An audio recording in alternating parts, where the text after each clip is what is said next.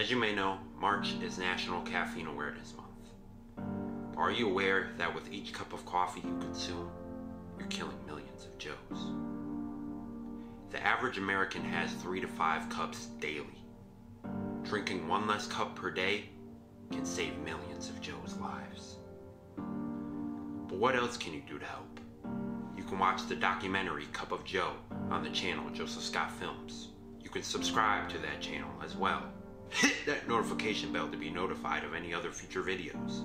Like this video, share with others, and leave a comment if you feel so inclined. And lastly, follow Joseph Scott Films on Instagram. The more you know can save a Joe.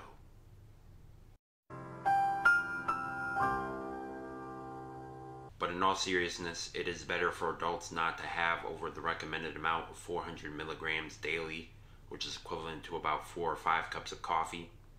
Drinking too much can lead to dangerous side effects like anxiety and insomnia, and caffeine can be found in other drinks such as soda, which having too much of can be unhealthy as well.